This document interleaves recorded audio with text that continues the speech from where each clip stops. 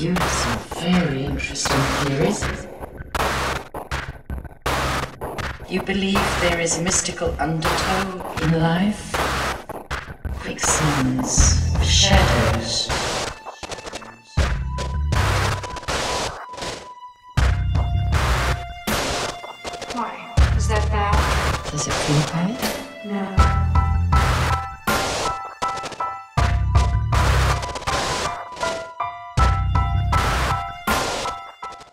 Give you a little warning. I'm recording you, just so you don't feel like violated. We're hearing from my lawyers.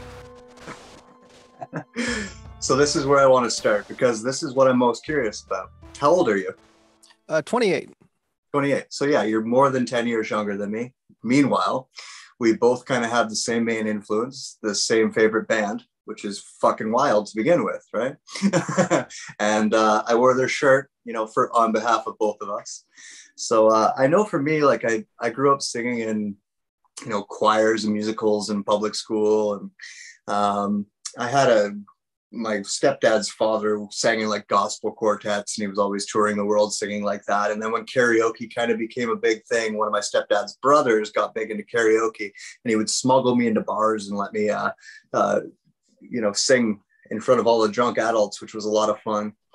Then when I became a teenager, I got into Bon Jovi of all things, like, and that was kind of what made me want to be a rock star. Got me kind of like wanting to get up on stage and sing and whatnot. But then, um, then I found Nine Inch Nails, and that kind of changed my entire world, so to speak. And uh, so I'm kind of wondering uh, your own story in that vein because you've kind of ended up in the same place despite being an entire fucking generation away, right? So it's pretty interesting.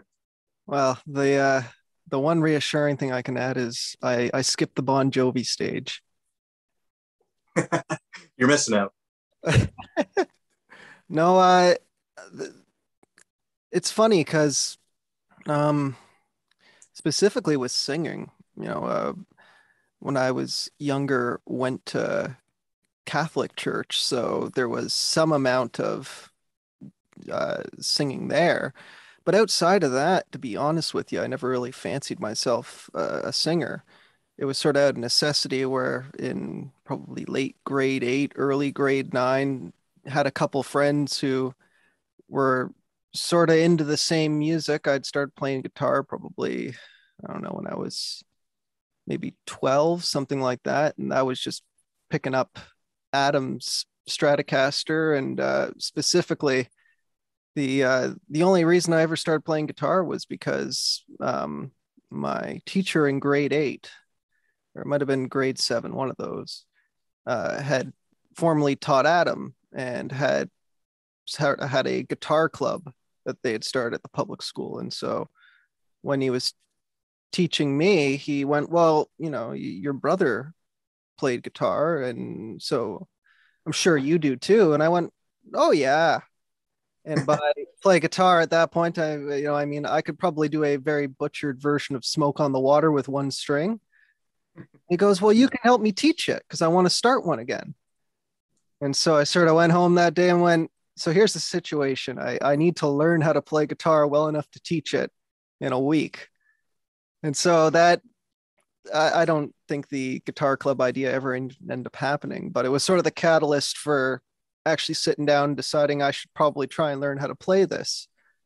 And uh, that turned into, you know, at the time, the music I was listening to was sort of all the hand me downs of my brother and all of his friends. So, you know, I had mix like tape, or I guess it wouldn't even be mixed tapes for the most part. It was uh, MP3 data discs that you could put into a DVD player and it'd be formatted so I had folders and so I remember having ones that were everything from like CCR to Napalm Death.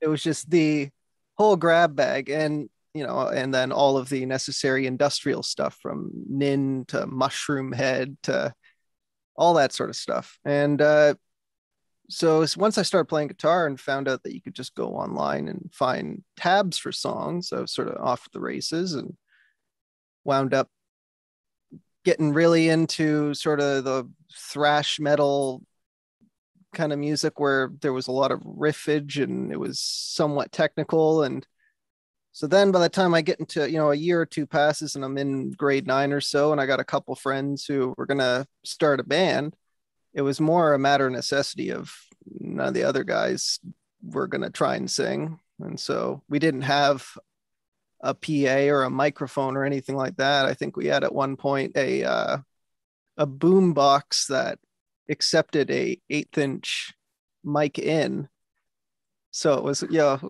one of the, you you remember the days of the butchered three different cable connections held together with hopes and dreams, all to come out of a tiny little six-inch speaker that's supposed to be heard over top of everybody's amps in a drum set.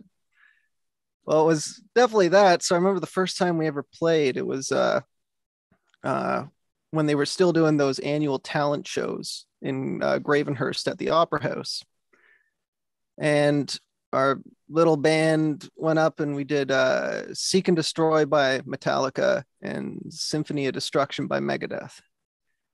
And I didn't really know if I could sing these songs because I'd never really heard myself over top of the band.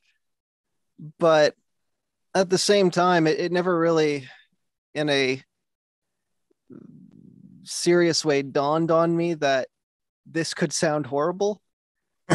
was I think uh, I'm, I'm not quite sure because uh, I've definitely gotten much more self conscious about the idea that this could sound horrible. But for some reason, at, at 13 years old, you just go, well, I mean, worst case scenario, I'll just start sing or stop singing and uh, we'll uh, we'll play the song faster and with more solos, and that would be even better. So there's nothing to lose. But it wasn't until uh, probably a bit further down the line in high school, I would say, uh, I don't know, probably when I was 16 or 17 or so. a friend of mine who was booking local shows in Orillia had booked this little band that I had. And uh, it was supposed to be our first proper paid show opening for these other local bands that had been in a studio before and they had recorded EPs before. So this was serious and we really had to show up and know our shit. And uh, the, you know, the week before the show, I'm going, well, this really isn't coming together and the set list is not sounding very good. And so I called the promoter and went, listen, here's the situation. I don't think the band could do it, but if you want, I don't want to leave you in the lurch so I can show up and do something acoustically just to you know fill the time and so it was sort of a week to throw together an acoustic set but at that point it sort of dawned on me that all right well it's hard getting you know a bunch of teenagers together and to sort of all focus on doing the same but doing this acoustic thing it's sort of either I show up and do the work or I don't, but at least I have control over that. So I sort of made the move into that. And it wasn't really until then that it even dawned on me that maybe I should try and sound halfway as decent when I'm singing. That's funny. And uh, yeah, I definitely, I haven't actually done it, but I definitely see the appeal of like being able to just kind of get up there with your guitar and do your thing. Cause um, well, you would know the Mindsight because you're, you know, Lenny and Shane, right? So um, that band was kind of so talent stacked that, like, you know, our drummer was the best guitarist in the band, and he just played drums because he could, right? And all of us could kind of be the front man of the band if we wanted to. We all knew how to sing, we all knew how to play instruments, so it was like I was joking. It was like having four girlfriends, and uh, they all hated you all the time, you know. And it was Valentine's Day every day, and um, you you had to show up, you had to perform, you had to appease them, you had to make them happy. And if you didn't, it was going to be about a three month fight, or at least uh, three three or four days of a cold shoulder. But uh, you know, the the appeal of being able to just get up there and do it yourself, you know, it's uh, pretty awesome. And when I see someone like say Matt Good get up there and just like completely command a crowd, just him and an acoustic guitar. Like that's uh I saw him in a Kee to Bala before, and that was what I really took away from it. Is I, I'd love to be able to to kind of do that. I've always been kind of in bands and always had the backup of other people, but uh, so uh, kudos to you to to kind of going that way first because it's not uh, not the easiest way to go. Well, I I can I can appreciate the the benefits of it, especially given the circumstance of how it allowed me to start playing and getting some more experience out there. But it also just uh, sort of definitely made the urge to play with a band all the more noticeable um, because uh, the the biggest problem I had was uh, during those sort of late high school years when I was moving out of playing with a band at the same time I'm going you know any chance I get I want to get on a stage with other people because I, I much prefer that. And uh, that's definitely still the case where being in Muskoka still, it's it's one of those things where trying to to find the group of people that have fairly idiosyncratic tastes of music, well, that's a little bit difficult. And when you start going, you know, okay, well, I, I know when I said to you that I'm I want to get a band together, you heard uh, garage rock band. I'm thinking smoke machines, and I'm gonna put together a video screen and How do you feel about rolling around in cornstarch before we go on stage? Bit of a hard sell, but uh, again, my sort of idealized idea of, of what you would do with a band for live music would be something along the lines of Nine Inch Nails, where there's the visual aspect to it, there's sort of the spectacle, but not in some sort of gauche way of I'm gonna pee on myself while I'm performing, and that's going to be my idea of uh, of visual wonderment. Instead, uh, how do we do something interesting with the medium? How do we incorporate every tool we have available instead of just being the the guys who show up and play some really loud rock music? And so it's difficult because I think if if that's what you have in mind for the the ideal it it makes the notion of getting started just completely overwhelming and you know suddenly you're looking at the prospect of starting a band is well i better take out a line of credit. Right? Yeah. Yeah it's um i remember the first couple times i saw nine inch nails that they didn't have that. It was really just kind of them on the stage and uh, the stage was always so black and it was really just the um, they would trash the stage and trash each other and like trash the crowd and it was that kind of energy and i think it was around the fragile where he started to really kind of incorporate yeah. visuals with it even more and then um, I kind of jokingly, as he lost his voice, that's not nice to say, but, but, but, but as he lost his voice, I feel like I kind of started to rely a little bit more on that as well. And it became more and more a labyrinth. And then of course, by the like, say, Beside You in Time tour, he had that like whole front drop as well. And they would project on that, plus all the screens behind and a very elaborate light show with lasers and all of that. It was really interesting because in my mind, that's how I see Nine Inch Nails, right? Like, um, when they were just playing on a plain stage. I always had it in my mind like, no, you guys should have like Pink Floyd like lasers, and you know there should be a fucking wall built on that side of the stage that Trent goes and smashes down with his forehead, you know, and there, there should be like you know dancers on stage and all this stuff. And then when I saw them for the first time, that wasn't there. I was like, oh, okay, well, but it also like because Nine Inch Nails is so production heavy, to see them live was really an eye opening thing for me at first because it was like, I remember going to that first concert, like, how do they pull this off? Right.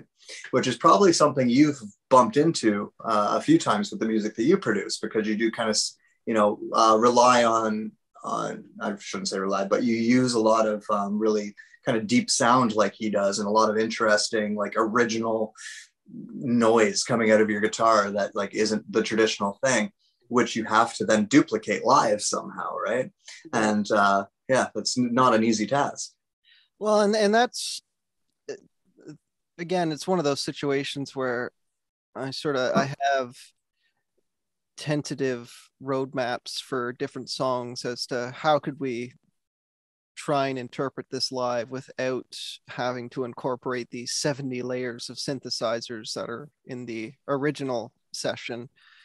But uh, again, that's one of those things where I feel like to try and actually do a good job of presenting any of those songs in a more traditional four or five piece rock band. It, it's not a matter of you know get a couple guys together in a room and uh and bang them out in a couple evenings. So it's one of those things where it feels like you sort of have to have a decent group of people together that you can all sit around the computer and uh and try and make decisions about all right well what's it feasible to have on backing tracks? What you know parts can be converted into guitar parts or you know what songs should still have electronics what shouldn't? And it's one of those things where I, I haven't really had the opportunity to, to sit down with a group of people and have that discussion. And that's sort of been the the one bugbear that has sort of been haunting me since getting the first album out is, is going. You know I, bet these songs could hold up if you strip them down to the uh, the foundation and presented them as more of a rock band type of music but never had the opportunity to actually hear it in a room and and see if that would work. And so i think part of the uh, sort of wonderment around the visual element that you see in a production heavy show like Nine Inch Nails is going well I, I don't have a, a drummer and you know another guitarist another bassist. For the most part anytime we've done any shows with my original stuff it's been me adam and then uh, a couple shows we had uh, our friend Ashley playing piano, who had never played live before. Before I went, well, I know you play piano and I know you can sing.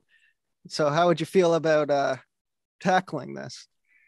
And uh, at that rate, it was more, well, we're going to look really silly if we show up with uh, with nothing else planned.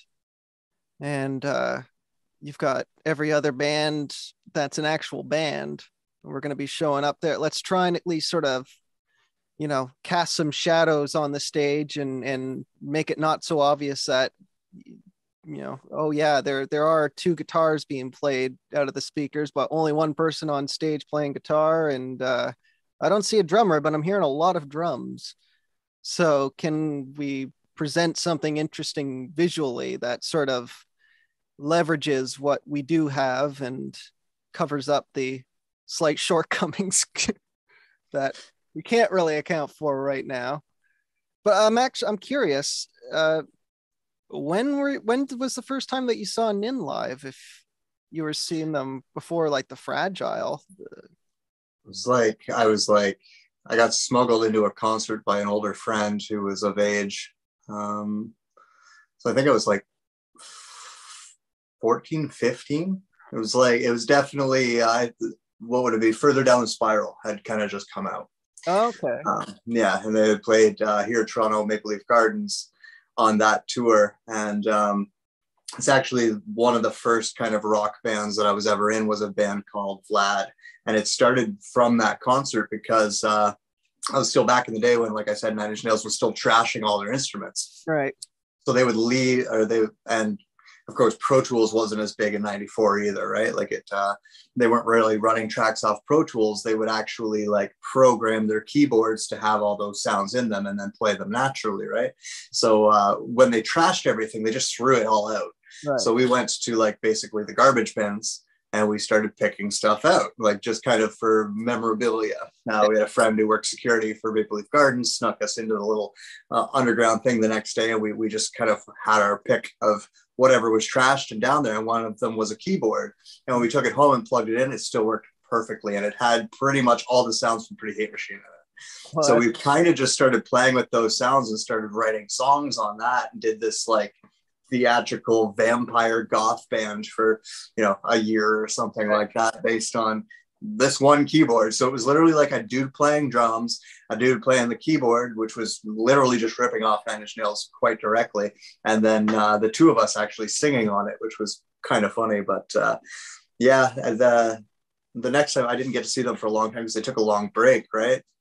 And then the Fragile came out, and uh, they actually played the last concert at Maple Leaf Gardens before Maple Leaf Gardens got got switched over, and they filmed the uh, and all that could have been DVD. Uh, one of the three shows they filmed was in Toronto. I'm actually on the DVD, five minutes and 26 seconds or something into the second disc, right after Trent says, I want to fuck you like an animal. They cut to the crowd, pretty much dead center of the crowd is my stupid little face. Um, you see everybody around me jumping, like doing this, and I'm just like, staring at the stage. It's, it's actually pretty funny. It was uh, while I was still living in Gravenhurst, I was working the overnights at uh, the Mac's up there. Okay. And uh, can't remember his last name. His first name was John. He worked at Pizza Pizza there for a long time. He was a big Nine Inch Nails fan as well. He had just bought that DVD and he came in with a computer printout of me and a crowd of people. He's like, "Yeah, man, this is on the new Nine Inch Nails DVD." I'm like, "That's pretty fucking awesome." but yeah, it's. uh I know for me, um, the Bon Jovi thing was the performance, right? I really love like they're a great live band. I love the idea of like I've always loved the idea of performing. Having started with musicals, recording has been kind of a, a necessary evil. Mm-hmm. I, performing has been kind of where I've wanted to be. So when I was watching Bon Jovi, I'm like, here is this larger than life performer. Like he's pretty fucking amazing. And then I think, you know, it wasn't really emotionally in line with me. I had a kind of fucked up life, and uh, you know, I, I, guess I needed lyrics with a little bit more of an edge to it. Right. So when I was introduced to Nine Inch Nails, it just went straight into my heart, straight into my soul. It was almost like I wrote all those songs, and I just became obsessed. And then that spiraled into obviously liking things like Marilyn Manson and Rob Zombie and uh, you know a bunch of other bands around that time. But it was just a very funny change for me to go straight from like Bon Jovi to Nine Inch Nails. Right. Like it was literally like a summer uh, between like grade grade nine and grade ten or something like that, or grade eight and grade nine, whatever it was, where it was like one year you see me, I've got these like dress shirts on, tight jeans. I've got like my my hair all done nicely. And then the next year I come in, I'm all dressed in black and gray and not really talking to anybody. you know what I mean? But uh, there's a definite like kind of emotional quality to Nine Inch Nails that I just, you know, fell in love with. And even to this day, I can't get away from that. Like I need the music I listen to has to be able to engage me on that level. And that all comes from kind of listening to Nine Inch Nails. Hmm. Yeah, it's interesting too, because thinking back, like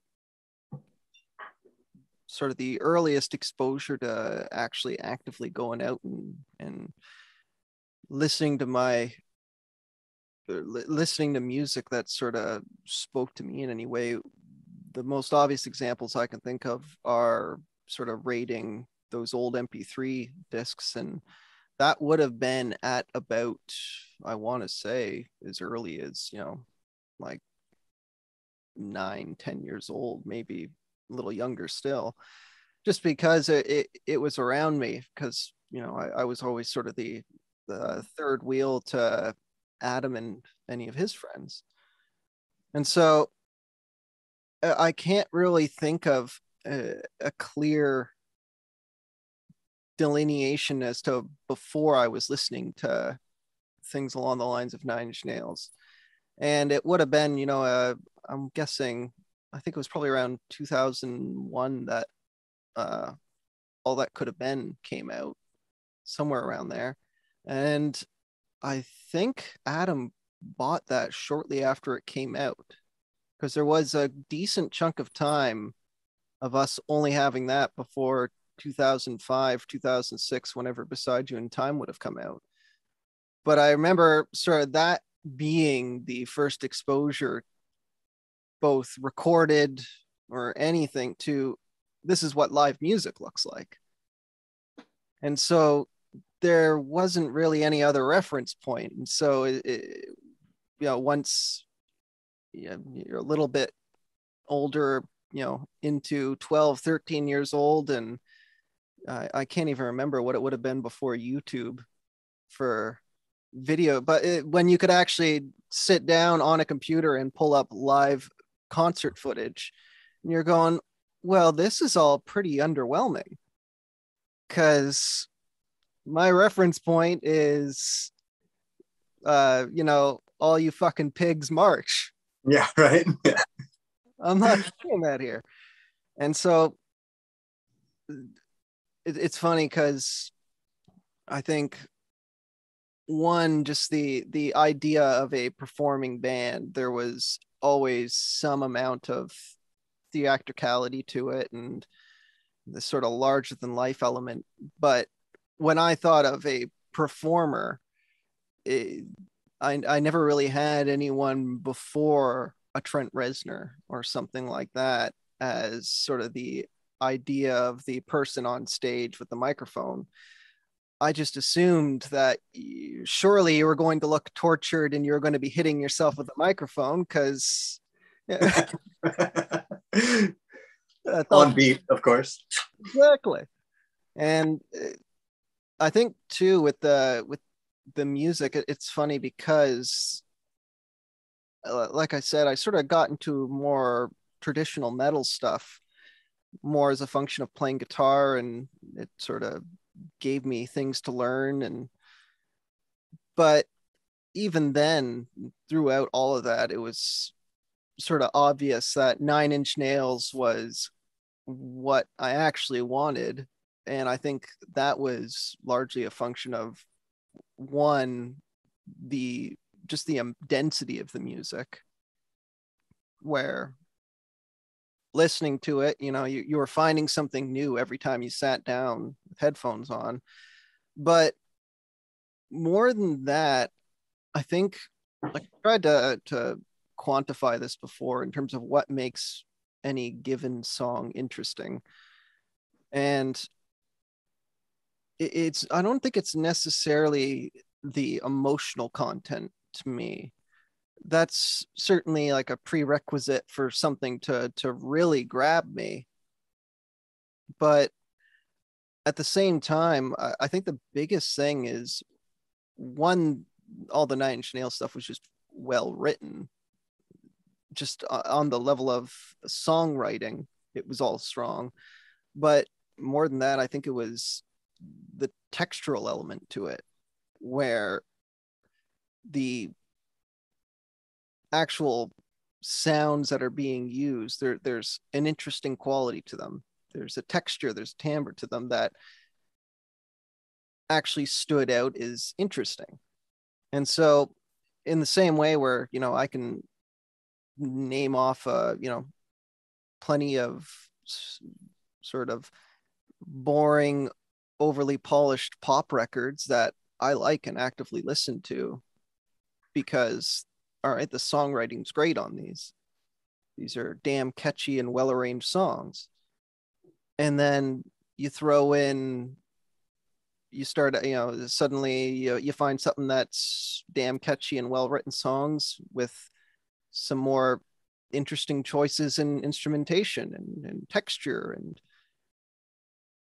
it, suddenly it's funny it feels like it's sort of bridging that gap into suddenly you can find the Swedish pop band that is just doing really interesting synthesis and that has a unique quality to it. And I'm going, you know what? I'm liking this for the exact same reason I like Nine Inch Nails. In that there's just, at the end of the day, there's just something interesting about it that makes it compelling, more so than the emotional content per se. And there's certainly, you know, instances where you know the the last 10% that sort of pushes a lot of nine inch nails stuff over and above the rest is that emotional quality that i can connect to. Um like you know something like leaving hope off of like the still ep i'm going well that has all the boxes of being well written and having a lot of interesting instrumentation and texture to it. And it has an emotional gut punch to it. And it didn't need lyrics or vocals to do that. But i think the the biggest thing was more just the sort of quality of the the writing and stuff like that like like nine inch nails. And then the fact that instrumentally it, it was doing something interesting. And that's i think what sort of grabbed me as soon as i started putting together a little studio and trying to write stuff was more so than anything else let's try and aim for that bullseye of eh, whether or not you like it at least being able to sit down and go well you did something interesting there yeah, and uh, you mentioned the density of Nine Inch Nails, which is one of my favorite parts of it as well. And um, the way you described it is exactly the same way I would describe it to someone who didn't know Nine Inch Nails. Like literally every time you sit down to listen to it, you're probably going to hear something new. He does these weird things where there's like this sound up here and then the sound down here, and then on the next verse they switch, and like you can notice little things like that. And especially with the fragile, where he like really, really, really layered it up, and then everything obviously preceding that or proceeding that is um, it, it has that multiple layer density to it that to be honest for a long time because i i listened to it so much other music sounded empty to me it was yeah. like you know you could be doing so much more here but you're not um, i did eventually hit a point where i kind of went the opposite way where i was like okay now i'm into a lot of just straight acoustic song or just a, a chick and a piano or something like that hmm. but every time nine inch nails comes on it's like an instant reminder oh this is my jam. Like this is you know that that feeling like i always called it a wall of sound. Like mm-hmm. it was just like you're walking into this massive wall of sound and then just on a personal level you know i can identify with his lyrics. I can identify with his personality. I think we're kind of very similar in a lot of ways. So the lyrics really really speak to me in that sense. And then yeah like you could play a regular bar chord on a guitar with distortion, or you can run it through this filter, that filter, this filter, and then circuit it back through this old recorder and then pump that into Pro Tools and affect it one more time. And that's my guitar sound, you know? And um, well, as a songwriter, that really fascinated me. The interesting thing too, using that example still staying on Nin was, was it was the intentionality behind it. It was because yeah, you know you can give me the Billy Joel album where people are going, well, you know, uh, there's so many little details. He plays that piano riff at the end of the chorus a little differently every time. And okay, that's nice. But especially uh, when you, I remember when uh, year zero, all the multi tracks were released for it. So you could put them up in like a GarageBand session and actually listen through things soloed and you realize that okay even for a song where it, it wasn't necessarily um, trying to be especially bombastic it wasn't you know the the wall of sound being these giant guitars and distortion and instead it was more subdued electronics.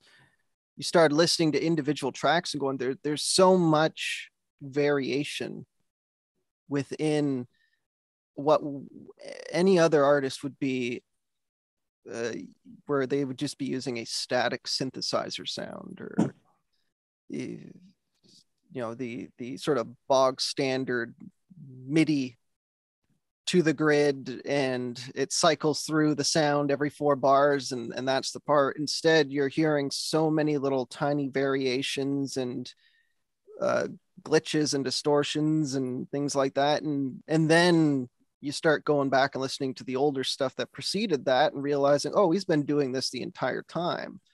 And there's a whole other layer of of ear candy that I haven't been noticing. And especially once I started trying to record and produce my own stuff and realizing how much effort that can take. And realizing you know how so much of that is more felt than heard where you can put the hour into adding interesting little textures and, and things like that to a to a part that nobody's ever going to hear unless they heard it soloed but it does feel different. Yeah. There is something interesting about that. And I don't know. It, it, it's something that, again, just made me appreciate beyond sort of good songwriting or or uh, sort of emotionally resonant lyrics just this other element wherein you were and almost it feels like respecting the listener enough to go you might not hear this but i think it's worth both of you know if you're going to uh, sit down and listen to this song it's worth me having put in the extra time to to add in these details that you might not actually hear but one you'll be rewarded for if you do listen 20 times. And beyond that there's a certain whether it's real or not uh, sort of perceived sense of sophistication in the in the production that jumps out to me that okay if you want to hear something interesting that might challenge you let me give you something that has this attention and care put to it. Makes sense what's your kind of typical i mean i i know firsthand that we we don't write all songs the same way but uh, most of us kind of have a kind of standard of where we start kind of a, a basic skeleton of, of, what we do when we're writing a song. So what's yours? Uh well i can tell you one thing.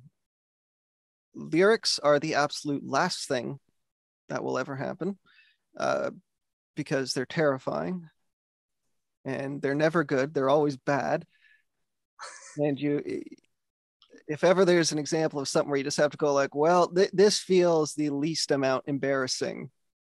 All done. So that's what we're going to go with. Usually i uh, it tends to be again something you know uh, stumbling onto a sound or a loop or a synth patch or something that just has an interesting quality to it.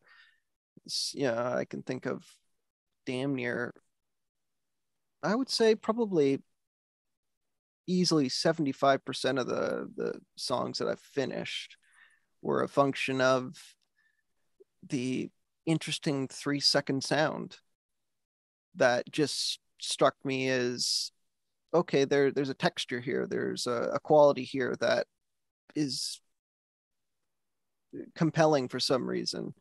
And then it's just slowly building up a sort of skeleton around it and fleshing things out I I would love to be able to to sit down and and sort of play four chords on a piano and build up a song from there.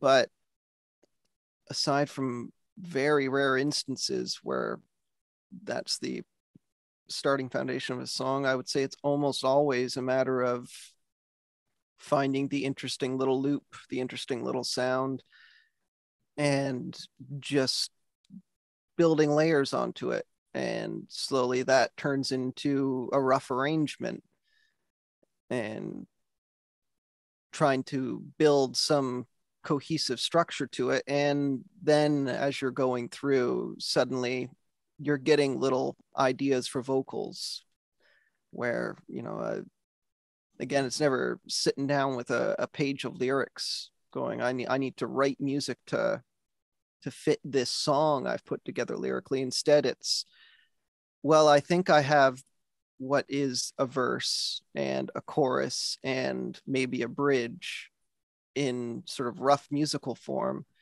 And whenever I get to what I think is the chorus, I have a little melody that's going off in my head.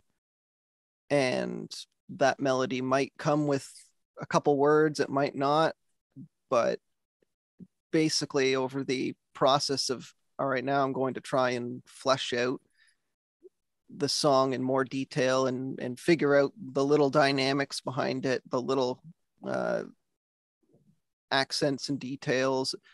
Just more and more of the vocal structure starts coming to you, where now you might have just heard the melody in your head for the chorus so many times with a certain set of syllables that you're you know you've attached a couple words to it and you're going well i guess i need to write lyrics that make sense with those words because i'm never going to get them out of my head. And but, but usually I would say it's uh, a song is easily 80 90% finished musically before i'm ever sitting down with a piece of paper to try and write lyrics. And at that point usually i have the melodies completely sketched out sort of all the the the rhythmic structure of what the vocals should be doing. And it's more a matter of well i need a three syllable word here and i need a one syllable word here with a hard consonant. So that way you're really coming on that downbeat and uh, the difficulty there is uh, i definitely noticed with the the first album i did because it was sort of the writing process of it was stretched out probably over three or four years because i was learning how to write and produce and mix. So all the songs just sort of kept going further down the rabbit hole of well i'm you mean you can add orchestra to songs? well, I think every song should have an orchestra in it at some point, because why wouldn't you? And also, uh, definitely having a certain insecurity with regards to to singing. Then going well, can I leverage that in a way of going, you know, leaning into that and trying to have rather dense vocal production. Uh, if I don't like the way my voice sounds when it's just one voice straight between the speakers all by its lonesome, well, is there a way of adding a lot of vocal production in a way that still feels interesting and and uh, in a way that feels unusual for this type of music. You know, if you're writing sort of alternative rock with a lot of electronic stuff, well, I can't think of too many instances, you know, that also has a lot of dense vocals. So the closest thing I can think of is Bjork or something like that. And so because of that, with that, with the the first album, uh, I did that was definitely a, a situation where the vocals were really being left to the last minute and you you would have you know the, the part where there's 20 vocal tracks oh fuck i recorded that a year ago. That was no problem. But the verse where there's only one vocal oh well maybe i should wait until i get the new mic. Yeah. And do you do it all all on your own? Pardon me? Are you writing all on your own or is your uh, brother with you on that or is it just you? Uh it, it's just me. There's been a, a couple songs where i've had him come and uh and you know either it's handing him a guitar and saying you figure out a couple layers for this part because i you know i need someone else to just have their input there or uh i need another voice in this part. So come and sing these parts for me. But at the same time, he's the main person that I'm bouncing off the ideas off of. So while I'm writing everything, uh, I'm generally speaking, you know, anytime there's a song that has received any noticeable amount of work on it, he's the first person I'm giving a copy to and going, What do you think? Is this moving in the right direction? and and there have been you know plenty of times where he goes i don't like what you've done i think it's in the wrong direction and i go well you're wrong and i'm going to prove it to you give me a night and i would say it's sort of 50 50 percent of the time where i take another couple days to work on it and i meekly walk back to him and go yeah you were probably right it probably didn't need a flugelhorn. Every song needs a flugelhorn, man. Every song. and there are other times where you know, eh, same thing where I I'm telling him, trust me, it's not quite right yet, but I know what I'm doing, and this is going to work if if you give me another day or two at it. Um, but the the the writing process, eh, it's funny because I the the album I'm working on right now is sort of like a I'd say a 50-50 split of songs that weren't quite finished or or didn't quite feel right for the first album. And then the other half of it is completely new stuff that has sort of been written in the past two years let's say. And there's definitely a pretty stark contrast just in terms of uh not quite having the kitchen sink thrown at it in the same way. Uh, i think some of that is getting a little more comfortable with the idea of okay I, I don't need to have 20 things happening at one time to cover up the vocal performance and also the the excitement and novelty of being able to add layer upon layer and sort of emulate artists like Trent Reznor who can do that well. Well, I don't know if my attempts to do that have always been a complete bullseye uh, complete success. So feeling more comfortable stepping back from that and going, well, let's try and make this work with with less moving parts. And let's try and take the Rick Rubin approach of mute the the seven completely redundant things that are happening in the background that well they're there but i don't know if they quite meet the uh the threshold of actually improving things to try and focus on just the one thing that kind of drives it it can be difficult especially uh, i know my approach to, to music is pro- is similar to what you're describing. I hear layers and i hear you know piles on top of piles on top of piles whether it's vocals. And that was a big problem when i started writing for bands is like i was trying to write as if i was five or six different people and there's just no way i can sing all those parts at the same time. But in my head i can hear them right? So so why not? It's uh it, it should be achievable but it, it's really not. A lot of people think that you know i think hip hop kind of skewed people's opinions on on how difficult it actually is to use things like loops and, and use things like samples. Everyone thinks it's like, you know, just take it out of the box, drop it on the track, and you're good to go. But it's really not that easy. And then trying to find, and you deal with this with mixing, trying to find the sonic pockets, right? Like this, this sits really well with this, and this sits really well with this, and that conflicts really strong with that. So I have to change that sound somehow. It's um, you know, when I was going into writing music like Nine Inch Nails, I never really thought of any of that stuff. I was like, oh, this is going to be easy. I'll just keep piling layers on until it sounds good.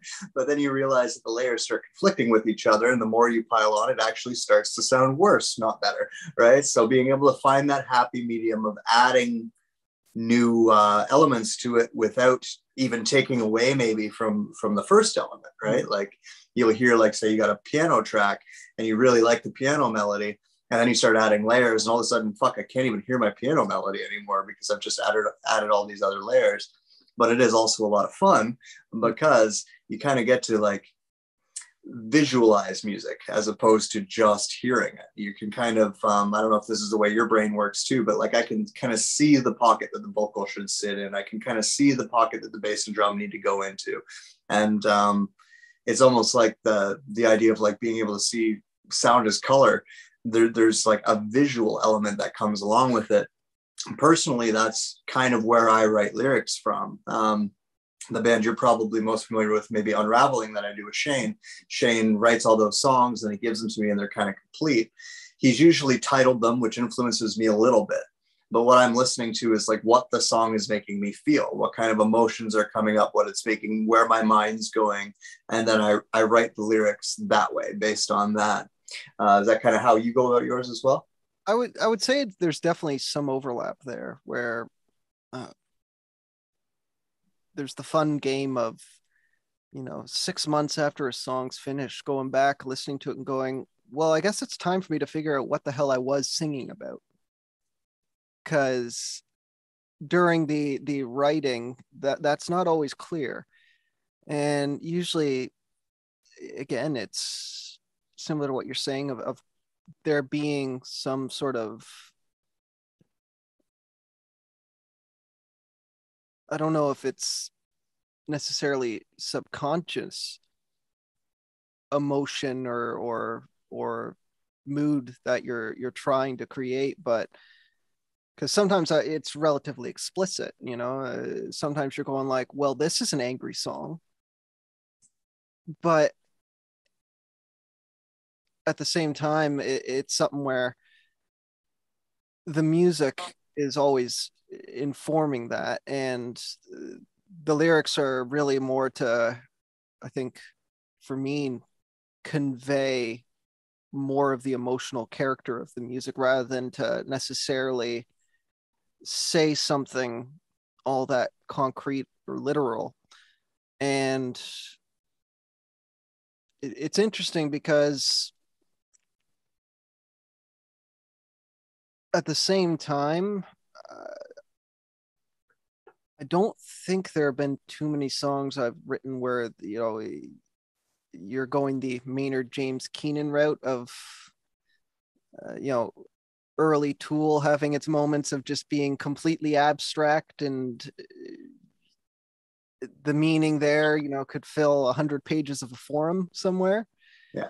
I, when I'm actually looking at the lyrics in hindsight, I'm going, well, you know, the, these could be read fairly literally. There, there's not too much pretense of extremely deep themes and and hiding the ball in that sense but when it comes to actually uh, writing the lyrics themselves there's not really you know well my girlfriend broke up with me and it's really pissing me off so i'm going to write a song about that bitch instead it's six months down the line going, wow, I was really still feeling that breakup apparently, because I think that's what was going on there.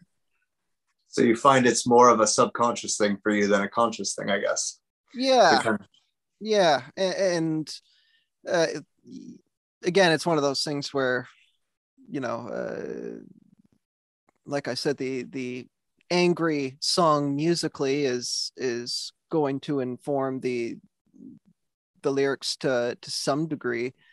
But at the same time i i think usually it's more hearing the song hearing the emotion of the song and going well what is this an opportunity to sort of tap into even if as the you know from the first person view the person who's sitting down with the pen and paper you're you're not explicitly going, well, this is an angry song, so maybe I should address those childhood traumas that have really been eating away at me. Instead, I think it's more just opening yourself up to and I, I don't even know if I want to say, you know, a, sort of expressing that on a subconscious level. But it's uh, yeah, it's hard for me to say exactly what's what's driving the the writing of the lyrics in that regard because I, I, I don't know if looking back it there's a sense of catharsis or anything like that i don't think even if there are songs where i can clearly tell after having them been written that okay uh, i was probably influenced by x thing that was happening in my life at the time i don't know if the act of writing the lyrics and sort of putting them to song has the emotional release that a lot of people say it does. Mm-hmm. I, I, instead, I, I I think it's more just sort of conveying some emotion in a more abstract way of you know well let's tap into some sort of aggression or some sort of angst or some sort of lust and even if i can look back and go well here's what was influencing me at the time i feel like well I'm, I'm, I'm just finishing up writing lyrics for the album that i'm doing right now and i feel like i'm certainly tapping into the same things that i was writing about three, four years ago and not like that well hasn't been tapped. I, I certainly didn't drain all the water out of the angst well. Let's put it that way. So if songs, writing these songs is supposed to uh, scratch that itch. It's not working so far. well, maybe one day. I mean, uh, obviously, it's development for all of us as songwriters, right? And I think we kind of tap into what we need to. It sounds like um, I think of Dave Grohl often because he's he's talked a lot about how he does the same thing. Like his lyrics are literally like the last thing he even thinks about. Um, he's just thinking about the melodies, right? He's got the melodies that he's kind of got in his head, and once he's in the studio, he kind of like goes in and more or less ad lib stuff and then writes it down as he goes, right? And so it doesn't really have a lot of like linear deep meaning to it. You could like read any given line and pick a meaning out of it, but a lot of the times over the course of his songs, they wouldn't have that. But he's he's gone back and forth on that as well. He's done the other approach where he's like, I'm basically going to write the lyrics first and then do it that way. And you do end up with two completely different outcomes a lot of the time. And I think that there's definitely a place for both. I I tend to lead to like my like vocals are my primary love and and and I really love storytelling. And uh, the kind of medium of music has been a, a, method of storytelling for me. So when I sit down to write lyrics it's almost like melodies come second right. and lyrics come first.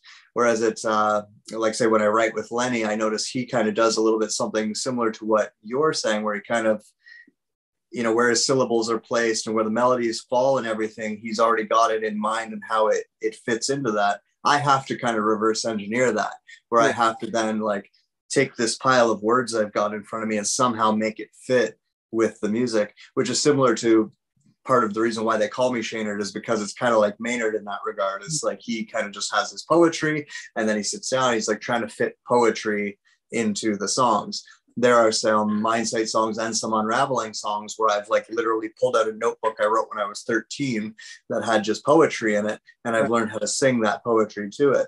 So it's interesting for me to hear other songwriters, uh, you know, process on that because I, I can't say that one's better than another, right? I think that like some people are really good at like just kind of pulling it out of their pulling it out of the ether like that as they go.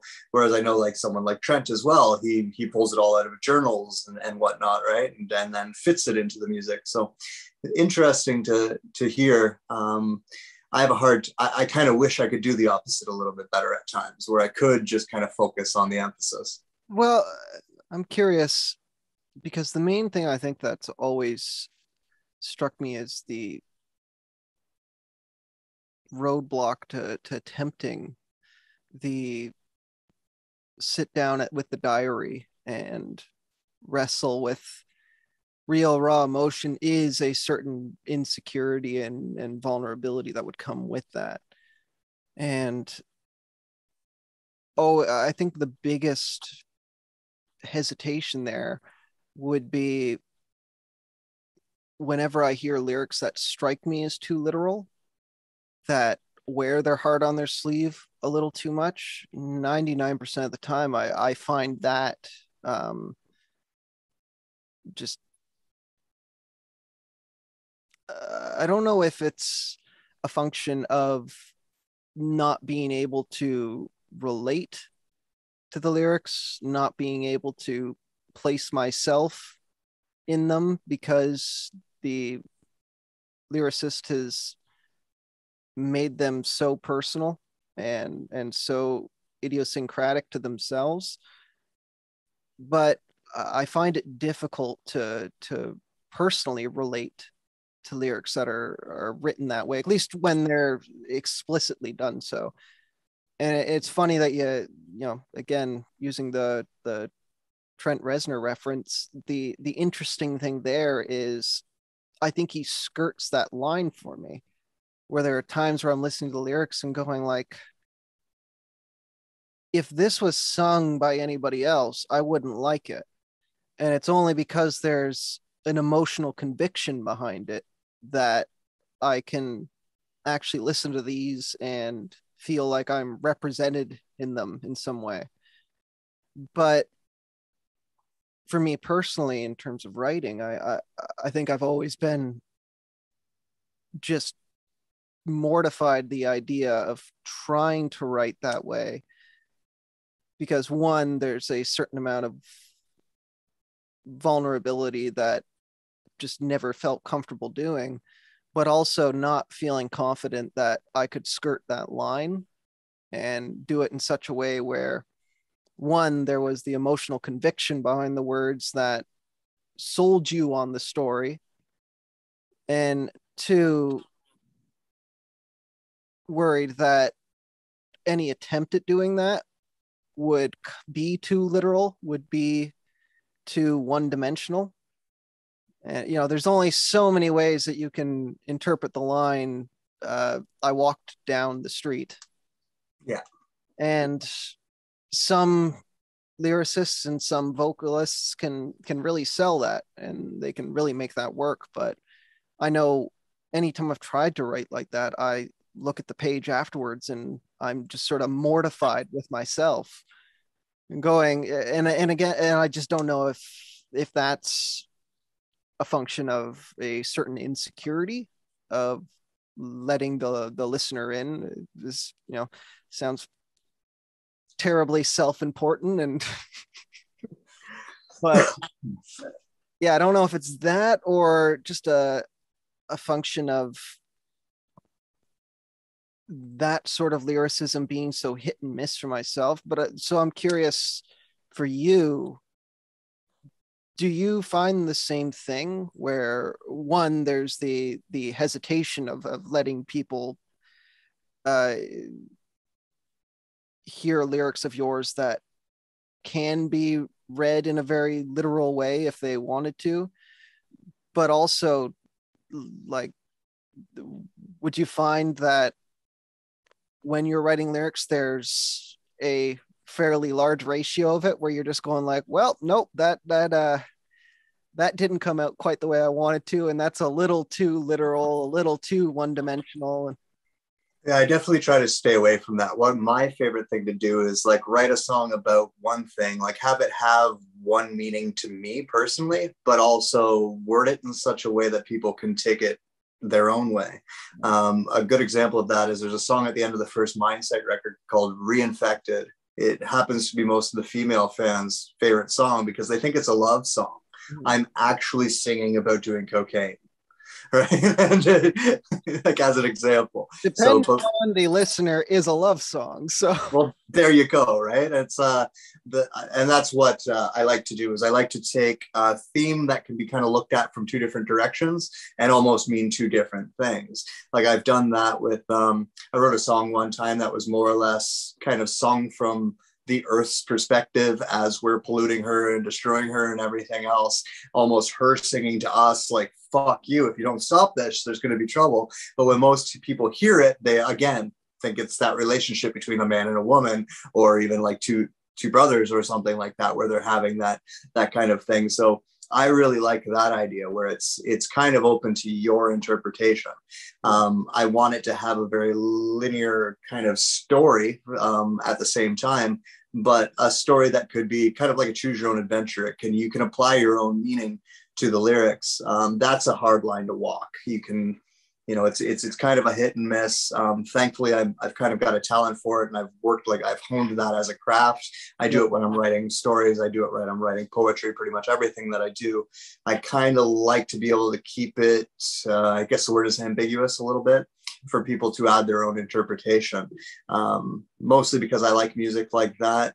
And you know, I, I, think that that adds to listenability. Like, um, I can even think of some Nine Inch Nails songs that I would listen to when I was like, say, 16, that had like a very solid uh, relation point to me, like a very solid meaning to me. They meant this to me because I went through this situation.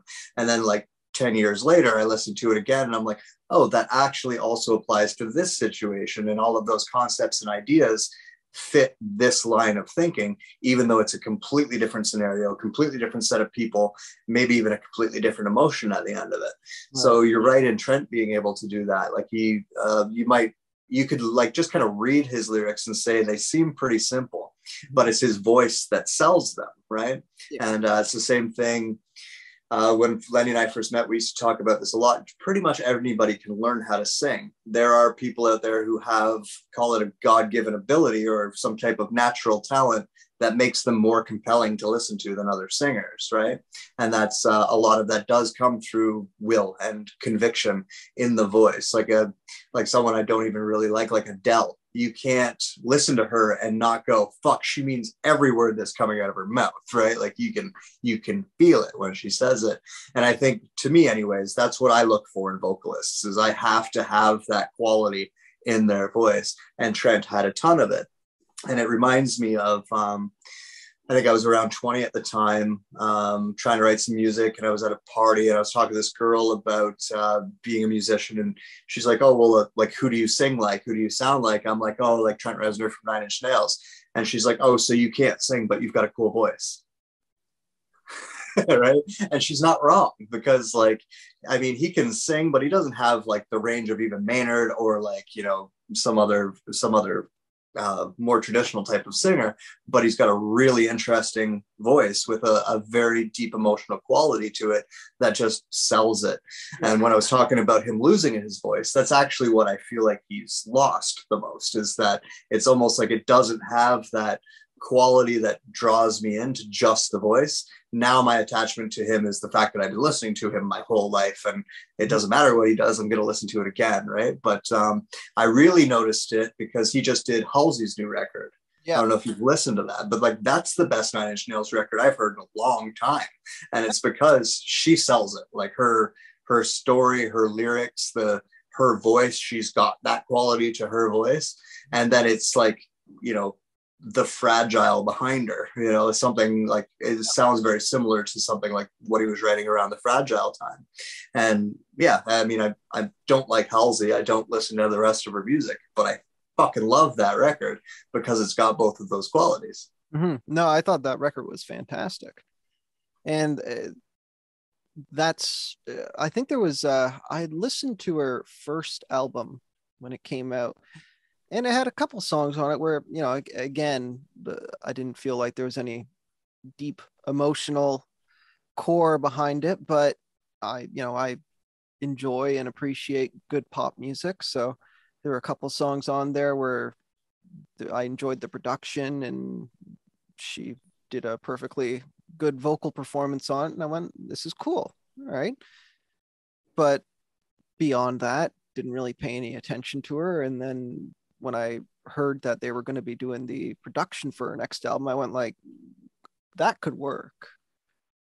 And I thought that it was fantastic. Where you know, yeah, I love it too. I have like pretty much since I since I found out about it. It was kind of an odd thing because I heard uh, she did a song on the Birds of Prey soundtrack called "Experiment on Me," and I loved that song. She screams at the end of it; it's badass. And then um, I listened to some of her other tracks, and I'm like, Meh, whatever.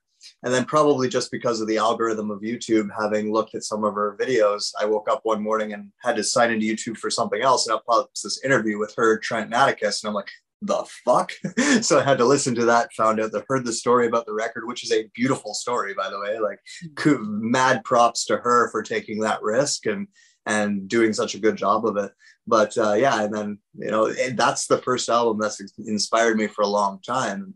Right. A long time. So it's funny too. You, you just made me think of it. Uh, talking about uh, using Adele as an example, but I think part of it for me as even a listener, uh, I would say, generally speaking, unless your lyrics are very good or very bad, I don't really notice them as a passive or even active listener uh, you know they're sort of the the window dressing to whatever melody you're singing but I, I i, really tend to hear the the voice more as just another rhythmic melodic instrument in the song. And it's generally speaking not unless the lyrics are to my ear so jarringly bad that it pulls me out of the experience or so good that suddenly I'm going, wow, I, I I'm actually invested in what's being sung here beyond just the the emotional context of the the performance itself. And so it's funny what becomes popular because have you ever looked at the lyrics for uh, uh, Sunglasses at Night? I don't think I have the lyrics make no fucking sense, like none at all. He's, he says like, "Don't switch the blade for the guy in the shades." Oh no! Don't masquerade with the guy in the shades. Like, there's no point to any of those lyrics. He like even Nirvana is a, an example of this. Like, I'm like listening to Nirvana, and it's like some pretty lines and some some cool plays on words, but they mean nothing. you know, it's like, but Well, at the same time, you don't notice. that at Yeah. times. I had to remind my because I, I have that moment too every so often, specifically uh, when you're listening to to commercially popular songs that you know clearly a lot of people enjoy this and uh, ostensibly they they feel some emotional attachment to this music. You know, they went and got the lyrics tattooed on their arm, but you're when you read them, you're going, I don't think that means anything. Right? Yeah. So there's definitely every so often when you can sort of pull your own head out of your ass. uh, It's a worthwhile perspective to take of uh there are plenty of great songs that people purport to, to love the lyrics to that when you actually read them right yeah and it's funny how like wrong people have lyrics a lot of the time too. I find it's like people like constantly sing songs and they think they know the words but they really don't. It's uh that's kind of funny too. It's like there's so many different this is why like i remember when i was young i used to like you know get in arguments about like this band is better than this band and this music sucks and this artist sucks and this one's great and all of that stuff and as i started to get older i started to realize that it all just comes down to personal taste, right? Like you and I are even like exhibiting two, two completely different tastes in vocals. Like the lyrics, the melody, like that's that's that's my jam. That's what I need the most. And for you, it's kind of like a unless it's bad, you barely notice it, right? And but meanwhile, we both still love exactly the same band. So it, it just goes to show you that there is no real right and wrong. It is kind of personal taste, opinion, and uh, I mean, you could say technically X drummer is better than Y drummer or X guitar guitarist better, but I mean, Slash makes that shit sing even if you can't shred like you know Mars, uh, not fucking so, so like Satriani or something like that, right? Like he he still has a quality that makes it just beautiful, regardless of the fact that maybe he's not technically as good as the other person. You hear it a lot with drummers. It's like Neil Peart's the best drummer, Danny Carey's the best drummer. No, it's the guy from Dream Theater. No, it's that guy, right? And I think it is uh, personal taste is just so caught up in it that uh, you know that, that type of arguing amongst ourselves is kind of pointless. It's very easy to say. I don't like Nickelback. I think it's lame. But at the same time, if someone took me to a Nickelback concert, I would have a great time because they're amazing live, right? So there's there's qualities to all of it that can be appreciated. And yeah, it's uh, not not everybody likes the same flavor of ice cream. So we're we're really lucky that there's so many different flavors out there. Like when I hear "Toxic" by Britney Spears, I don't listen to Britney Spears. That fucking song is amazing, right? So and, and everyone can do it. and it's funny because I, I when things first locked down uh back in early 2020 i uh had sort of decided all right well i got some extra time on my hands because i was i was laid off from work for maybe three months or so. And uh i went well you know what? One thing that might be worth doing since prior to that I, I was playing usually you know two or three nights uh, on the weekend at a local restaurant just doing a, acoustic sets. And between doing that and then most of the music i was writing having more of a synth heavy element where there was guitars galore but it was all very uh, simple and uh, never the sort of main focus. I went, well, it might be interesting to sit down and and try and record some more metal stuff, just because that's where I learned to play guitar, and I still have fun doing that sort of thing. And so it sort of wound up turning into a what was originally going to be it'll be an excuse for me to play a little more guitar turned into well now i've got a song and now i've got two songs and well they don't sound half bad and i uh, had a buddy of mine who was a vocalist for uh, a local band and they weren't playing together anymore and he'd heard them and he went hey you know i think this is really cool what you're doing and if you ever want to try and lay some vocals down on this, I'm I'm game. And so it sort of sent me back to going through some of the older metal stuff that I listened to all through, you know, like the early 2000s, uh, like metalcore stuff. And just because I, I was sort of curious as I was playing more of this music, going like, well, I wonder if this stuff stands up still. If it, because I remember it was very compelling to me when I was 16. And it's funny because some of it I would say, yeah, it still really does. And others of it, I'm listening to it going, this, this really doesn't strike me as particularly well written. You know, and I think part of that is because, you know, if you had asked me at 16 when I was listening to the mus- this music, you gave me something like Toxic by Britney Spears, I don't know if I would have been nearly as open minded to that at the time as I am now, where I, I listen to that and I go, well, that's a mastercraft in, in songwriting. That's fantastic. And, you know, even if it's a little saccharine and, you know, it, it might not have that deep emotional resonance that you're looking for in, in the absolute favorites of your music taste, you can't deny a well written song and uh, so it's been interesting going back through some of that older metal stuff where the songwriting at the core of it was pretty hit or miss i would say. You know it's pretty hard to write a eight minute song that has 20 different sections and do it well.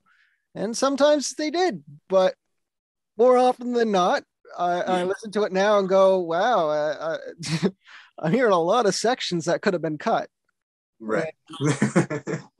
yeah, or like one of those things Tool likes to do where there's just this long circle jerk of them riffing in the middle of it. It's like you guys didn't really need to go there, but I get it. Um, whatever. What do you think of their newest album, by the way? well, I mean, it is the linear evolution of the band. And when I say the band, I actually mean like the three instrument players. It's the linear as like and it was funny. Maybe this was kind of front loaded because I saw Maynard on Joe Rogan's podcast before the record, and he kind of insinuated he kind of just showed up for it. Um, and it, not in so many words, was kind of saying, like, you know, I showed up and I heard what they were doing, and I'm like, okay, but where do I sing? Yeah. Right. And so when I'm listening to it, it, it does feel like it's missing Maynard in a way. Um, but at the same time, you know where the band has ended up. Like they are so tight now. They are so precise now that it's like you can't help but appreciate it for what it is in that term. Definitely not my favorite of their albums. It's probably like pretty down the line in that. Like i i think of like lateralus and Ænima are kind of like equal to me. And then i would i would actually backtrack and say undertow before 10,000 days. And then i would put um, the newest album even behind all of that. So um, it's kind of where I'm at with it. Uh, the first few listens, I think I was a little bit taken up in the fact that I hadn't heard any new Tool for 13 fucking years, and it was like the excitement of it uh, mixed with the nostalgia of it and the kind of rebirth. rebirth. But then I realized that like, when did that come out? Three years ago, in August, I think it was. I think I listened to it for like two months and I haven't listened to it since. Right. But like I listened to all of Lateralus two days ago, right? So um, that that's kind of it with them. Um, I like it, I get it, but it is really just a self-indulgent Tool album. Yeah, and I, I was never a huge Tool fan.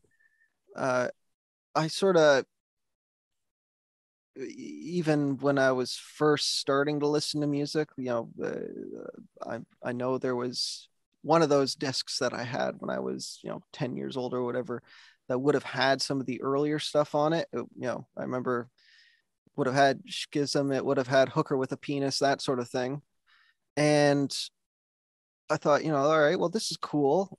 But then, whenever I'd sat down and uh, listened to a full Tool album, never really hearing anything that mm, engaged me to want to actually sit down actively listen to it from front to back but take something like Mer de Noms by a perfect circle. That, I was just going to ask about a perfect circle. Yeah, it would probably be more up your alley. Records of all time. Like I, you know, I thought that that was pure gold. And I mean, like I, I listened to that new Tool album once, I think, and I can't remember if I made it all the way through it before I went, eh, this isn't for me. Yeah. And I think I listened through the new Perfect Circle album once or twice before going, so nothing's really grabbing me. Go back to that one, man. Yeah. I don't know if you smoke weed, smoke a joint, put headphones on, lay in the dark, and listen to that album again.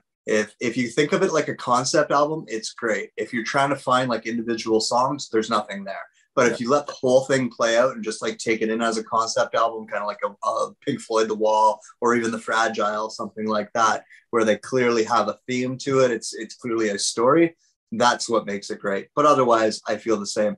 My Perfect Circle story you might actually appreciate because it was that uh, for the year 2000 concert at Maple Leaf Gardens for the Fragile tour, all that could have been tour, um, they opened for Nine Inch Nails. And I had no idea that Maynard was doing it. I didn't know what a perfect circle was, right? I got a ticket, a perfect circle opening for Nine Inch Nails, what the fuck ever. A perfect circle starts playing, and I'm like, fucking sounds like Maynard. Yeah. Fucking sounds like Maynard. It sounds like Maynard. And it wasn't until I got home and was able to Google it that I found out it actually was Maynard. and I was like completely, wow, I just got to watch Maynard and Trent, which are two of my favorite, you know, on the same night. And I didn't even realize I was watching Maynard for that whole hour. That would have been a damn good show too. Yeah, it was great. And Aside from music, what's uh what drives you? What's what inspires you? Uh to be honest, it's more just music is sort of the the obvious creative expression but i think just more generally creating is the big thing for me. Where you know i, I have plenty of sort of more varied interests in terms of you know i love uh history and uh reading about philosophy as much as the the next guy who spends too much time in the basement. But it's one of those things where those are more just vaguely intellectual interests whereas nothing gets me excited like the act of creating. And music is more just where i've found some level of competency where I feel like I can do this and uh, what I what I do, whether that's playing guitar or, or singing or anything like that, uh, there might be varying levels of of how well I can do it, but I feel like there's something at the you know the a culmination of whatever talents I have musically that I can make something that I can listen back to and go, well, hey, uh, I would listen to it. And sort of out of necessity, more so than anything else, uh, working on music has sort of put me in a position where, all right, well, I can either try and find a, a photographer whose work I like in uh, in Muskoka, or I can just get a camera and, and take a shot at it. You know, I can either try and find someone who's you know work I like for videography enough to to hire them on and then try and explain some half-baked idea I have in my head or I can just try and figure out some way of all right I'm on a shoestring budget but I got myself a camera so let's figure out how to try and do a music video. And I, I've always sort of just trusted in the idea that you know what? Something well executed that that's great. Someone who really knows how to work a camera that's wonderful. But if you don't have a halfways interesting idea then uh, i don't care if you're an amazing photographer who can take a fantastic photo of that person in the sunlight, but or sorry, the sunset, but I've seen that photo a hundred times. And I don't find that all that compelling.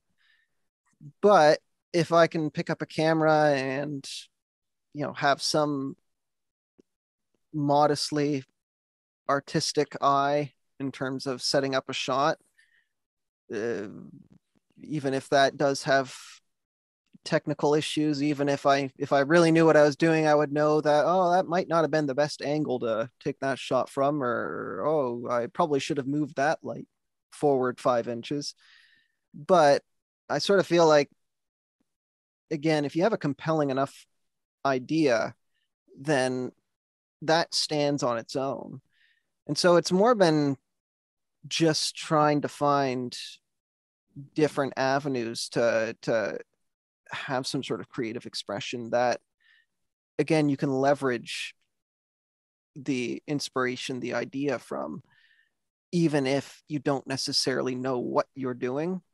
You know uh, when decide all right well it sure would be cool to to have a music video or two and going well i don't really i i went got myself a camera but i don't really feel like I can invest any money into this because I, I, don't see any obvious return aside from just the gratification of, of doing it and feeling like you know I, I might actually be able to to do this in a way that it's not embarrassing to look after or look at afterwards.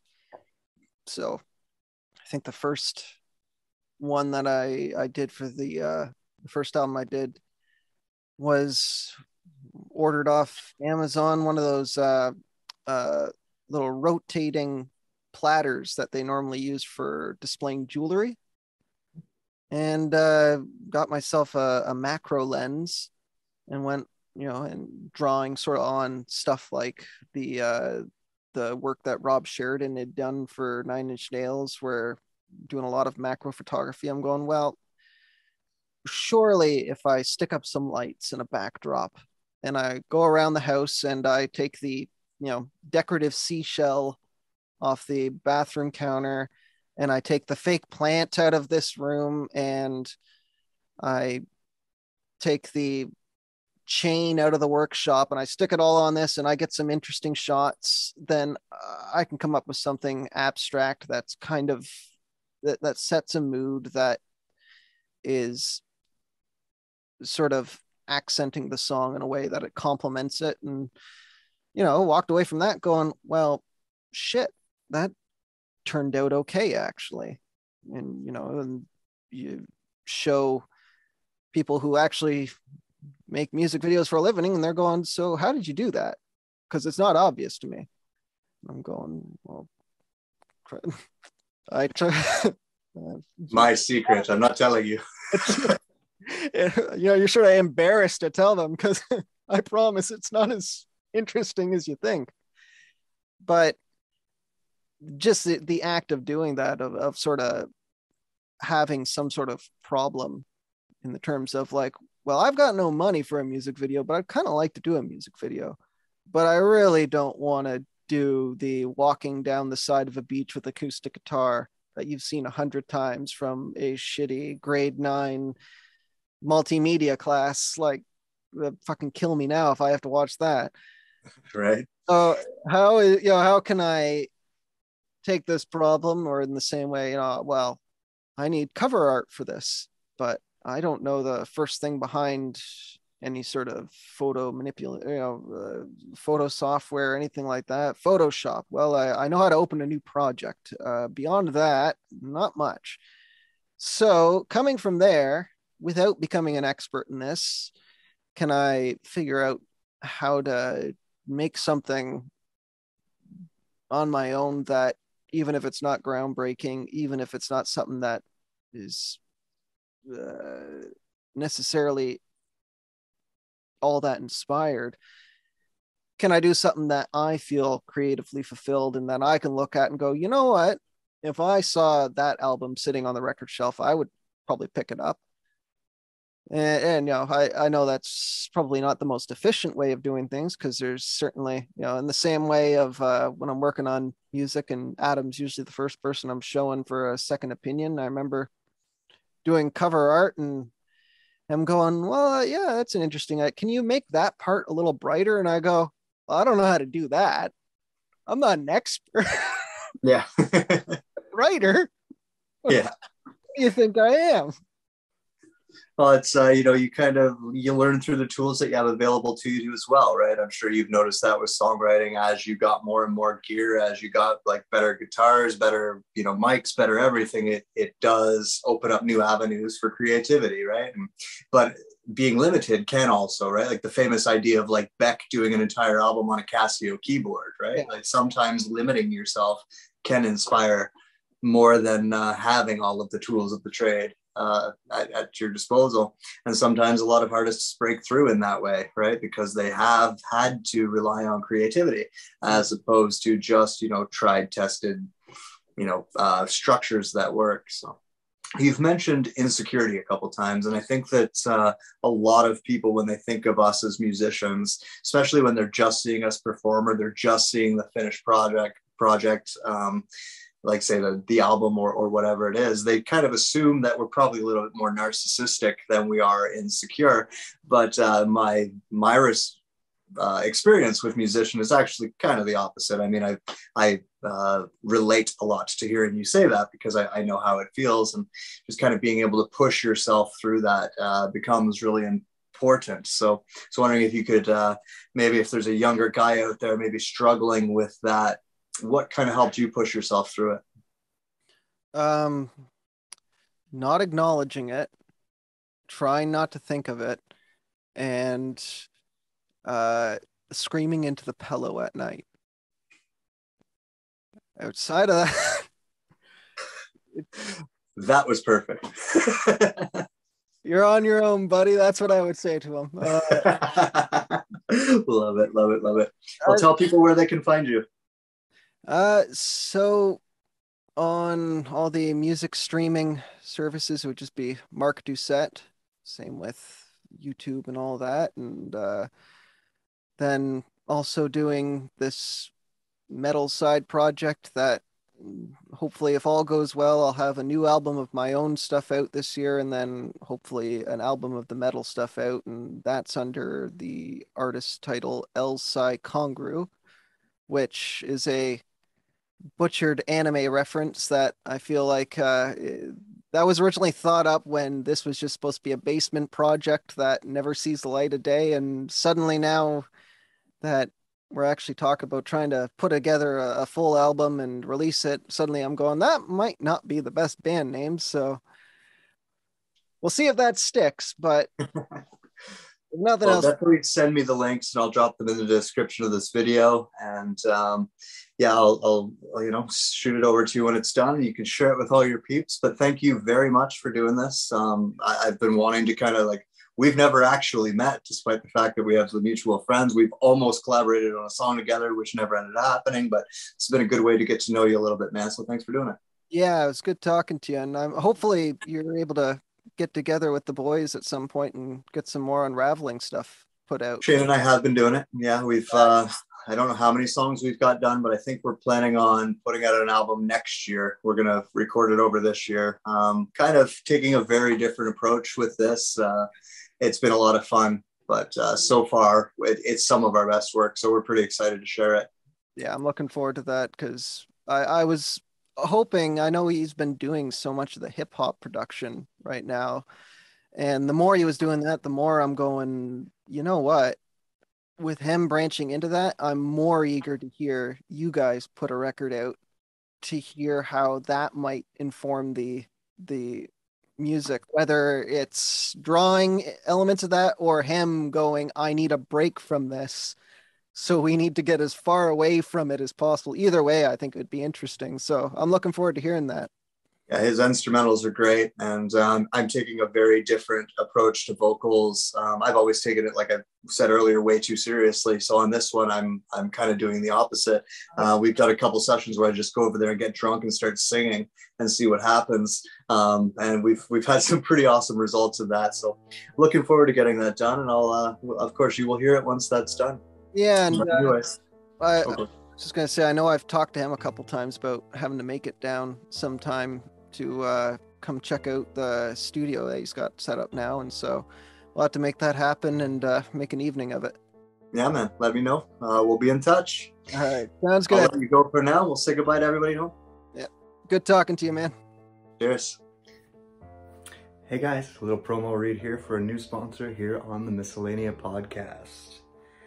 For the curious, merging the mystical into the mundane, the Sacred Wanderer knows it's a feeling. You are it, architect of its kind, multifaceted human being, multidimensional, transitioning between worlds, a subtle portal through integration, a quest to ground a new paradigm. Inspired by You Creations, creating curious minds.